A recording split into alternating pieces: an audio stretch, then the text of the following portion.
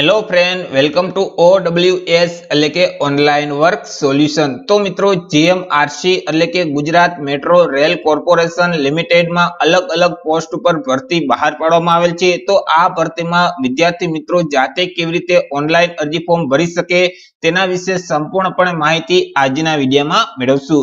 વિડીયોની શરૂઆત કરીએ તે પહેલા વીડિયો ગમે તો અવશ્ય લાઈક અને શેર કરી દેજો. ચેનલમાં નવા હોય તો અવશ્ય ચેનલને સબસ્ક્રાઇબ કરી દેજો.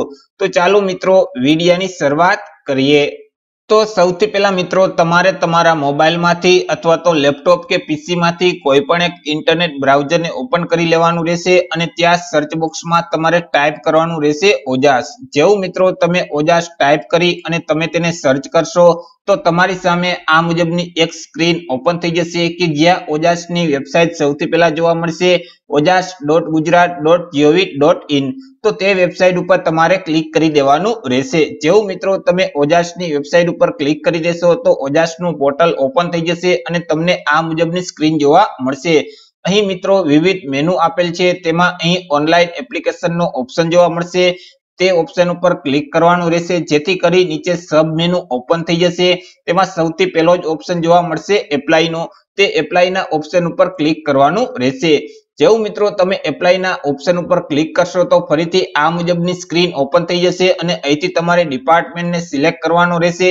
તો અહીં જે સિલેક્ટ નો ઓપ્શન આપેલ છે તેના ઉપર ક્લિક કરશો તો અહીં Gujarat metro rail corporation limited નો ઓપ્શન જોવા મળશે. તે ઓપ્શન ઉપર તમારે ક્લિક કરવાનું રહેશે. જેથી કરી આ મુજબની સ્ક્રીન ફરીથી ઓપન થઈ જશે. હવે ગુજરાત મેટ્રો રેલ કોર્પોરેશન લિમિટેડમાં જેટલી પોસ્ટ ઉપર રિક્વાયરમેન્ટ હશે, એટલે કે જેટલી પોસ્ટ ઉપર ઓનલાઈન અરજી ફોર્મ શરૂ હશે તેનું લિસ્ટ અહીં તમને જોવા મળશે. તેમાંથી તમારે જે તે પોસ્ટમાં અરજી કરવી હોય તો તેની સામે અહીં ગ્રીન કલરમાં એપ્લાયનો એક ઓપ્શન જોવા મળશે તે ઓપ્શન ઉપર ક્લિક કરી દેવાનું રહેશે. જેથી કરી ફરીથી તમારી સામે આ મુજબની સ્ક્રીન ઓપન થઈ જશે. અહીં જે એપ્લાય નાવનો ઓપ્શન જોવા મળે છે તે ઓપ્શન ઉપર ક્લિક કરવાનું રહેશે. જેવું તમે એપ્લાય નાવના ઓપ્શન ઉપર ક્લિક કરશો તો ફરીથી આ મુજબ સ્ક્રીન ઓપન થઈ જશે. હવે અહીં તમે ઓજાસના પોર્ટલ ઉપર ઓલરેડી રજીસ્ટ્રેશન કરેલ છે તો તમારા રજીસ્ટ્રેશન નંબર અહીં ટાઈપ કરી દેવાના રહેશે. તમારી જન્મ તારીખ આ બોક્સમાં ટાઈપ કરવાની રહેશે. એપ્લાય વિથ ઓટીઆર ના ઓપ્શન ઉપર ક્લિક કરવાનું રહેશે. પરંતુ ઓજાસના પોર્ટલ ઉપર હજી સુધી તમે નવા છો રજીસ્ટ્રેશન નથી કરેલ, તો સ્કીપના બટન ઉપર ક્લિક કરી અને આગળ એપ્લિકેશન ફોર્મ ભરવાનું રહેશે. તો આપણે સ્કીપના બટન ઉપર ક્લિક કરીશું. જેવું મિત્રો તમે સ્કીપના બટન ઉપર ક્લિક કરશો, તો અહીં તમને એક અરજી ફોર્મ આપી દેવામાં આવશે. તે અરજી ફોર્મમાં તમામ માહિતી ફિલ કરવાની રહેશે. અરજી ફોર્મમાં માહિતી ફિલ કરતા પહેલા અહીં જે અગત્યની સૂચના આપેલ છે તે તમારે એકવાર વાંચી લેવાની રહેશે. સૌથી પહેલા ઉમેદવારે પોતાની વિગતને ફિલ કરવાની રહેશે. ટાઇટલ જે તે લાગુ પડતું હોય તે સિલેક્ટ કરી દેવાનું રહેશે. આ બોક્સમાં સરનેમ ટાઈપ કરી દેવાની રહેશે. આ બોક્સમાં ઉમેદવારનું નામ ટાઈપ કરી દેવાનું રહેશે. ઉમેદવારના પિતા અથવા તો પતિનું નામ આ બોક્સમાં ટાઈપ કરવાનું રહેશે. ઉમેદવારની માતાનું નામ આ બોક્સમાં ટાઈપ કરી દેવાનું રહેશે. ઉમેદવારનું જે તે જેન્ડર હોય મેલ કે ફિમેલ તે અહીંથી સિલેક્ટ કરી દેવાનું રહેશે અને ફરીથી રીસિલેક્ટ જેન્ડર અહીંથી કરવાનું રહેશે. જે તે જન્મ તારીખ હોય તે જન્મ તારીખ અહીં ટાઈપ કરી દેવાની રહેશે. ઉમેદવારનું મેરિટલ સ્ટેટસ શું છે તે મેરિટલ સ્ટેટસ અહીંથી સિલેક્ટ કરવાનું રહેશે. ઉમેદવારની કેટેગરી કઈ છે તે કેટેગરી અહીંથી સિલેક્ટ કરી દેવાની રહેશે. ત્યાર પછી બે એડ્રેસ અહીં ફિલ કરવાના રહેશે. સૌથી પહેલા પ્રેઝન્ટ એડ્રેસને ફિલ કરવાનું રહેશે. આ બોક્સમાં એડ્રેસ ટાઈપ કરી દેવાનું રહેશે. અહીંથી રાજ્યનું નામ સિલેક્ટ કરી દેવાનું રહેશે. ઉમેદવાર જે જિલ્લામાં રહેતા હોય તે જિલ્લાનું નામ અહીંથી સિલેક્ટ કરી દેવાનું રહેશે. ઉમેદવાર જે તાલુકામાં રહેતા હોય તે તાલુકાનું નામ અહીંથી સિલેક્ટ કરી દેવાનું રહેશે. ત્યાર પછી જે તે એરિયાના પિનકોડ નંબર અહીં ટાઈપ કરવાના રહેશે. મોબાઈલ નંબર આ બોક્સમાં ટાઈપ કરવાના રહેશે અને ફરીથી તે જ મોબાઈલ નંબર આ બોક્સમાં ટાઈપ કરી દેવાનો રહેશે. પ્રેઝન્ટ એડ્રેસ ફિલ થઈ ગયા પછી ઉમેદવારે પરમનન્ટ એડ્રેસને ફિલ કરવાનું રહેશે. આ બોક્સમાં પરમનન્ટ એડ્રેસ ટાઈપ કરી દેવાનું રહેશે. રાજ્યનું નામ અહીંથી સિલેક્ટ કરી દેવાનું રહેશે. જિલ્લાનું નામ અહીંથી સિલેક્ટ કરી દેવાનું રહેશે. જે તે તાલુકો લાગુ પડતો હોય તે તાલુકાનું નામ અહીંથી સિલેક્ટ કરી દેવાનું રહેશે. જે તે એરિયામાં રહેતા હોય તે એરિયાના પિનકોડ નંબર અહીં ટાઈપ કરી દેવાના રહેશે. ઉમેદવારનું ઈમેલ એડ્રેસ આ બોક્સમાં ટાઈપ કરવાનું રહેશે અને ફરીથી તે જ ઈમેલ આઈડી આ બોક્સમાં ટાઈપ કરવાનું રહેશે. આગળ અધર ડિટેલને ફિલ કરવાની રહેશે. ઉમેદવાર માજી સૈનિક છે કે કેમ? ઉમેદવાર માજી સૈનિક હોય તો યસ સિલેક્ટ કરવાનું રહેશે, નહીતર નો સિલેક્ટ કરવાનું રહેશે. જો ઉમેદવાર માજી સૈનિક હોય તો જે તારીખે જોઈનિંગ થયા હોય તે જોઈનિંગ ડેટ અહીં ટાઈપ કરી દેવાની રહેશે લિવિંગ ડેટ અહીં ટાઈપ કરી દેવાની રહેશે. તે સિવાય ઉમેદવાર પાસે જે માજી સૈનિકનું આઈ કાર્ડ હોય છે તે આઈ કાર્ડ નંબર અહીં ટાઈપ કરી દેવાના રહેશે અને આઈ કાર્ડ ક્યાં સત્તા અધિકારી દ્વારા આપવામાં આવેલ છે તેનો હોદ્દો અહીંથી સિલેક્ટ કરવાનો રહેશે. પરંતુ ઉમેદવાર માજી સૈનિક ન હોય તો અહીં નો સિલેક્ટ જ રાખવાનું રહેશે. ત્યાર પછી આગળ શૈક્ષણિક લાયકાત એટલે કે એજ્યુકેશન ડિટેલને ફિલ કરવાની રહેશે. ઉમેદવાર પાસે કઈ ડિગ્રી છે તે ડિગ્રીનું નામ અહીંથી સિલેક્ટ કરી દેવાનું રહેશે. ઉમેદવારને કેટલી ટકાવારી મળેલ છે તે અહીં ટાઈપ કરી દેવાની રહેશે. ક્લાસ કયો મોડેલ છે તે ક્લાસ અહીંથી સિલેક્ટ કરવાનો રહેશે. ત્યાર પછી આ બોક્સમાં યુનિવર્સિટીનું નામ અથવા તો બોર્ડનું નામ અથવા તો સંસ્થાનું નામ ટાઈપ કરી દેવાનું રહેશે. આ બોક્સમાં રાજ્યનું નામ ટાઈપ કરી દેવાનું રહેશે. પાસિંગ યર શું છે તે પાસિંગ યર અહીં ટાઈપ કરી દેવાનું રહેશે. કેટલી ટ્રાય ડિગ્રી પાસ કરેલ છે તે ટોટલ ટ્રાય અહીં લખી દેવાના રહેશે. ત્યાર પછી લાસ્ટ જે રિઝલ્ટ હોય તેના સીટ નંબર અહીં ટાઈપ કરવાના રહેશે. આગળ જો ઉમેદવાર પાસે વધારે એજ્યુકેશન ક્વોલિફિકેશન હોય તો અહીં આગળ એડિશનલ એજ્યુકેશન ક્વોલિફિકેશનની ડિટેલ આપવાની રહેશે. અહીંથી મિત્રો ડિગ્રીનું નામ સિલેક્ટ કરી દેવાનું રહેશે. તેમાં મળેલ ટકાવારીનું નામ અહીં ટાઈપ કરવાનું રહેશે. ક્લાસ અહીંથી સિલેક્ટ કરી દેવાનું રહેશે. સંસ્થા અથવા તો યુનિવર્સિટીનું નામ અહીં ટાઈપ કરી દેવાનું રહેશે. રાજ્યનું નામ અહીં ટાઈપ કરવાનું રહેશે અને પાસિંગ યર અહીંથી ટાઈપ કરવાનું રહેશે.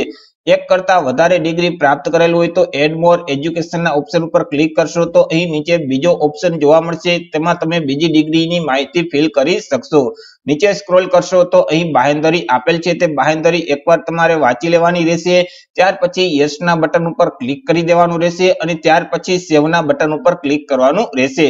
જેવું મિત્રો તમે સેવના બટન ઉપર ક્લિક કરશો તો અહીં તમારી અરજી સેવ થઈ જશે અને તમને એપ્લિકેશન નંબર આપી દેવામાં આવશે. જે એપ્લિકેશન નંબર તમારે સાચવી રાખવાના રહેશે.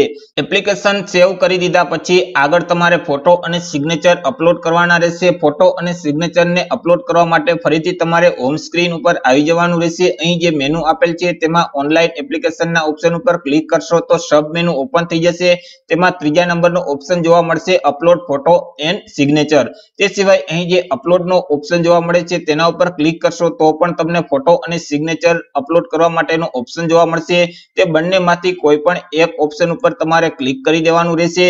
ત્યાર પછી ફરીથી આ મુજબની સ્ક્રીન ઓપન થઈ જશે. આપણે છેલ્લે વાત કરી હતી કે તમે તમારી અરજીને સેવ કરશો એટલે એપ્લિકેશન નંબર આપવામાં આવશે.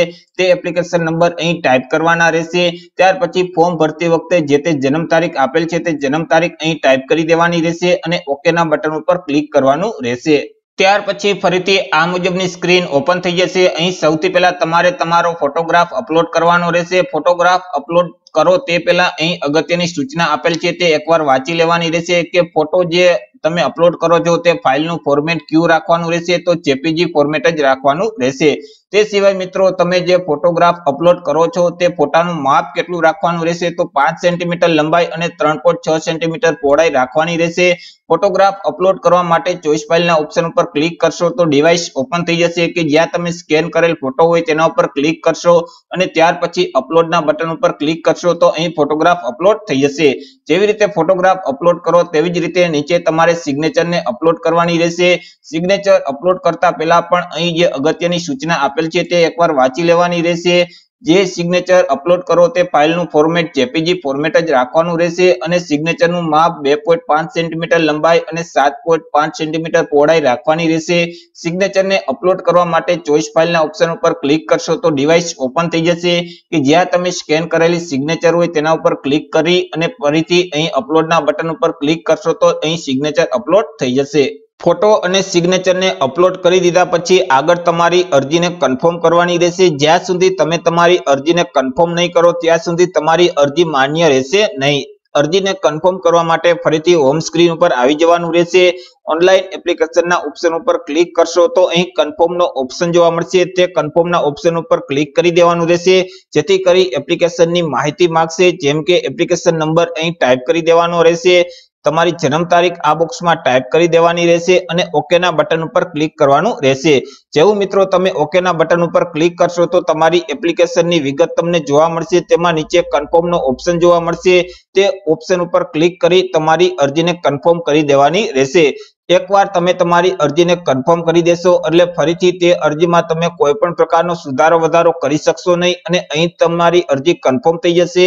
તમને કન્ફર્મેશન નંબર આપી દેવામાં આવશે કે જે કન્ફર્મેશન નંબર વડે તમે તમારી અરજીની પ્રિન્ટ કાઢી શકશો. તે સિવાય જે ચલણ ભરવાનું છે તે ચલણની પહોંચ પણ તમે કાઢી શકશો. તો મિત્રો ગુજરાત મેટ્રો રેલ કોર્પોરેશન લિમિટેડમાં જે વિવિધ પોસ્ટ ઉપર ભરતી આવેલ છે, તો તેમાં તમે જાતે જ આવી રીતે ઓનલાઈન અરજી ફોર્મ ભરી શકશો. આશા રાખું છું વીડિયો પસંદ પડ્યો હશે. વીડિયો પસંદ પડ્યો હોય તો અવશ્ય લાઈક અને શેર કરી દેજો. ચેનલમાં નવા હોય તો અવશ્ય ચેનલને સબસ્ક્રાઇબ કરી દેજો. ફરી મળીશું એક નવા ટોપિક સાથે, એક નવા જ વિડીયામાં. ત્યાં સુધી જય હિન્દ.